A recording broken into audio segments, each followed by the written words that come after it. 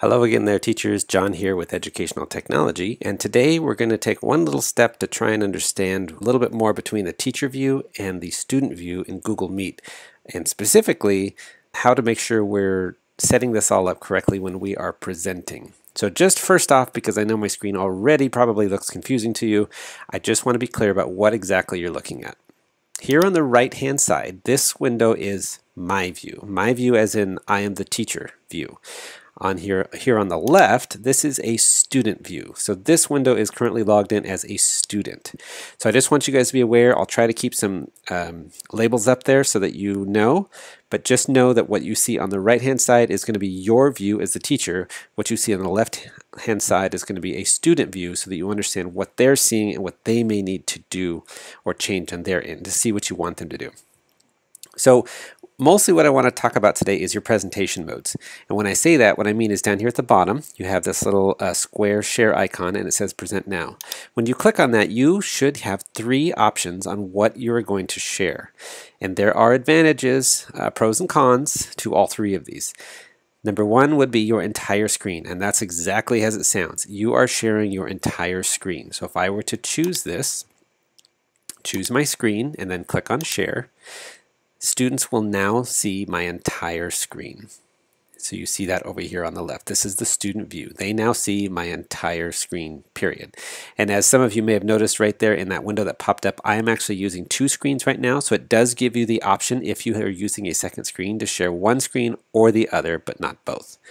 So the advantages here are obviously just to say anything and everything I am working on, students can see. So if you're trying to show them something specifically outside of uh, the Meet, like say a, um, a Microsoft Word document, this might be your better choice so that they can see everything you're working on. Please note, when you are sharing full screen, they do not get audio or system audio. So if you're trying to play a video, this is not the way we would recommend. Okay, so that is um, full screen. And by the way, I also want you to notice that when I look at when you start presenting, when I look at my attendee list, you are technically have two different presentation or two people in the room now. So if you're advising your students to pin you to the top while you're presenting, be careful. They don't want to pin you. They want to pin you where it says presenting. So students would want to, like in the student view, they would want to pin the presentation here. This is who's, who they would want to pin. The presentation, not you. Because if they pin you, they're not going to see or hear you. You just want to make sure it's the presentation. Okay, so that is full screen. Let me stop that and let's talk about the next one. The next one down says a window. Now a window is basically when you see the uh, close, minimize, maximize icons, either on the left if you're on a Mac or on the right if you're on a Windows, Windows machine. That whole thing that you can move around like this, that is a window. So you want to make sure that if you are sharing a window, you understand what exactly you're sharing. So if I were to, uh, for example, let's say I have a Word document. Okay, here's a Word document. Now if I grab that and move it, I notice there are no separate ribbons or tabs at the top. It is all one window. So technically I should be able to use that share window so that my students can see it. And let's try that. So if I go to share window, you should have now the option to choose what window it is. I want this Microsoft Word window, share. And now that is what students will see. And again, they will see just that window. Uh, you should know that you can work in that window, see how the mouse moves over on the left, and you can move outside of that window. If I move the window, it does not change what the students see. It's still just that window. You should also note that just like with full screen, this does not support audio. So this is just if you want to show them one application or one window, but you don't want to worry about anything else that happens to be open on your desktop or that might distract them from what you're teaching. So that is a window share. Uh, again, on the student side, if they're going to pin, they need to pin the one that says presentation, this one, not you. Because if they pin you, they might hear you, but they're probably not going to see anything. Uh, likewise, it's good to know, uh, to instruct students if you need to, that they might need to change their layout. So for example, if they have grid view enabled, they're going to see your presentation, but it's probably going to be tiny with the other 36 people in the room.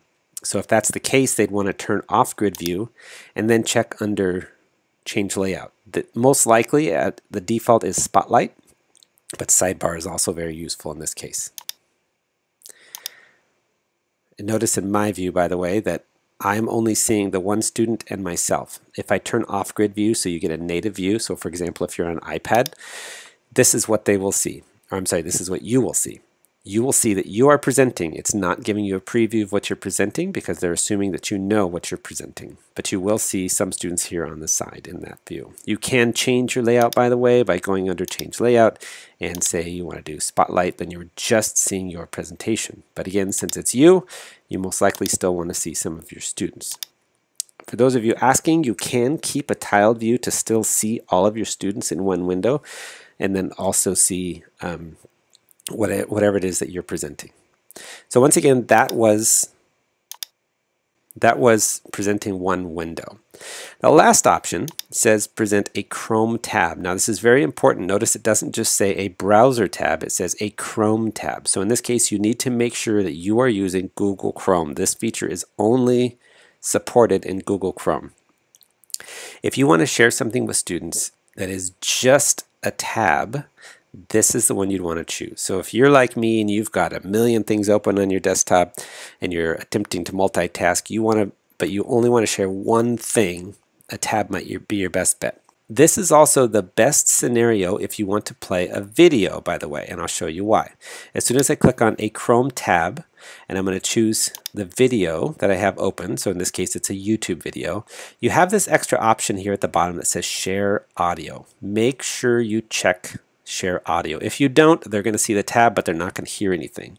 So make sure that you check shared audio and then click on share and they're going to see just that tab. So again, remember on the right is teacher view, on the left is student view. So now when I play it, and this is going to sound like a mess because they're both being recorded, when you press play for audio, students will also get the audio in their view. So again, make sure if you want to share audio, you are using the shared tab, Chrome tab option. And I think that's it for this time. So remember, entire screen is literally your entire screen. Window is just one window where you can click and drag and see what exactly it is you're sharing. And a Chrome tab would be just a tab, but it's, it's your only option if you need or want to share a video with audio. Hope that helps everybody. Until next time, we'll talk to you soon. And remember, you cannot be an analog teacher in a digital world.